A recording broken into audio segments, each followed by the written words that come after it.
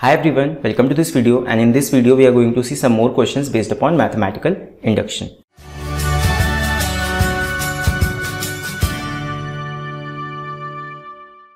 So our question is prove that 1 square plus 2 square plus up to n square is greater than n cube by for all n belongs to natural numbers.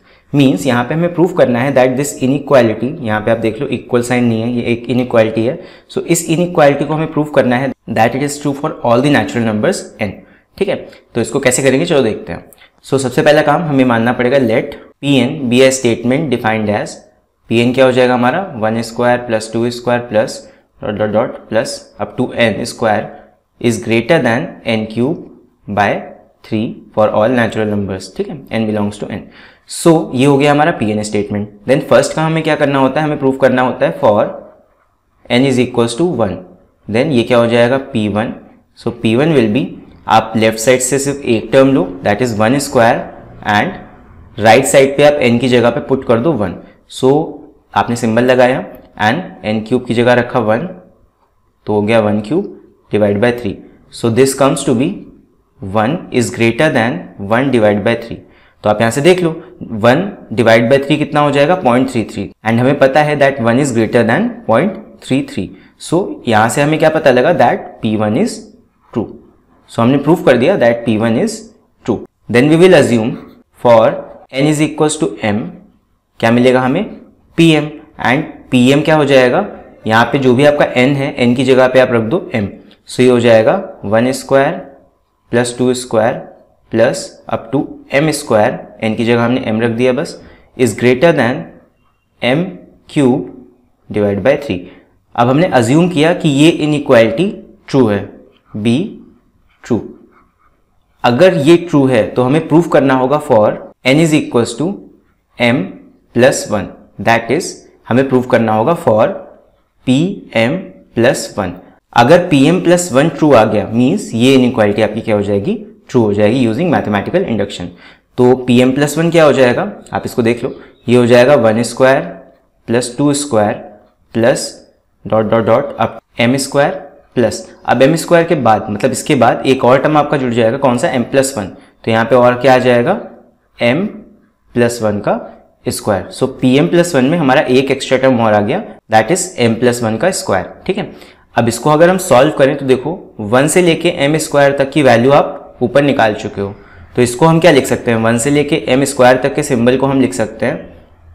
Is greater than m cube by three plus m plus one का square आप यहाँ पे देख लो, मैंने बस one से लेके M square तक के सम को रिप्लेस कर दिया किससे? एम क्यूब बाय थ्री से। क्योंकि हमें पता है कि इतना sum is greater than m cube by three तो मैंने इसकी जगह क्या लिख दिया? M cube by three and equality हम यहाँ पे नहीं लगाएँगे। यहाँ पे हम यूज़ करेंगे ग्रेटर देन सिंबल का। बिकॉज़ पी एम में हमें क्या मिला था? That sum of one square two m square is greater than m cube by three तो हमने इसकी जगह क्या रखा? Greater than m cube by three plus m plus one का स्क्वायर ठीक है? अब इसको हम फर्दर सॉल्व करेंगे। अब यहाँ तो हमने इसका सिंबल का यूज़ किया। बट इसके बाद जब इसको हम सॉल्व करेंगे, इस वैल्यू को तो इसके आगे हम लगाएँगे अब इक्वल साइन तो हम कहेंगे इक्वल टू इसको सॉल्व करेंगे तो क्या होगा? एम क्यूब प्लस थ्री को हम एलसीएम ले लेते हैं तो ये हो जाएगा थ्री एम प्लस वन का स्क्वायर और पूरे के नीचे आ जाएगा थ्री इसको सॉल्व करेंगे फर्दर सो ये हो जाएगा m cube plus three m square plus one square plus two m ठीक है, ये आ जाएगा। डिवाइड बाय थ्री इसको फर्दर सॉल्व करेंगे तो ये कितना आएगा? M cube plus three m square plus three plus six m divide by three अब यहाँ पे हमें कुछ ऐसा करना है कि हमें ये एम प्लस वन का होल क्यूब फॉर्म बन जाए। यहाँ पे आप देखो क्यूब है तो क्यूब को हम ऐसे तो सिंप्लीफाई कर नहीं सकते। हम इसको कुछ ऐसा बनाएँगे कि ये इस फॉर्म का बन जाए। ए प्लस बी का होल क्यूब वाला फॉर्मूला यहाँ पे अप्लाई कर सकें हम। तो ये ए प्लस बी का होल क्यूब क्या होता है? A cube plus b cube plus three a square b plus three a b square तो ये होता है आपका ए प्लस बी का होल क्यूब का फॉर्मूला सो अगर हम इसको इंटरचेंज करें कुछ और ऐसा बना लें तो देखो ये क्या हो जाएगा? एम क्यूब प्लस अब ये जो यहाँ पे थ्री है, इसको हम चेंज कर लेंगे देखो कैसे? हम इसको स्प्लिट कर लेंगे वन में एंड प्लस टू में. तो थ्री को हम स्प्लिट कर सकते हैं वन और प्लस टू में, ठीक है? तो थ्री को हमने ऐसे स्प्लिट कर लिया. देन इसके बाद और हमें क्या चाहिए? ये हो गया ए का क्यूब प्लस वन का क्यूब वन का क्यूब चाहे आप लिखो, चाहे ना लिखो, उससे कोई फ़र्क नहीं पड़ेगा। ये हो गया a cube plus b cube इसके बाद क्या चाहिए होता है? थ्री ए स्क्वायर बी अब देखो यहाँ पे एम स्क्वायर कहीं पे है? यहाँ पे है। तो ये क्या हो जाएगा? Plus three m square multiply by one तो थ्री एम स्क्वायर को हम क्या देख सकते हैं? Three m square one multiply by one plus three a b square हमें चाहिए। So plus three m multiply by one square तो थ्री एम देखो कहीं पे है टर्म यहाँ पे सिक्स एम है तो आप इस सिक्स एम को क्या ब्रेक करके ऐसे लिख सकते हो? Three m plus three m बस यहाँ पे थ्री एम के साथ वन स्क्वायर लिखो चाहे ना लिखो कोई फ़र्क नहीं पड़ेगा उससे। सो so, इतना टर्म आपका जो है यहाँ से एम क्यूब से लेके थ्री एम तक। ये देखो आपका कैसे किस फॉर्म का बन जाएगा? ए प्लस बी का whole cube form divide by three अब इसको आप देख लो।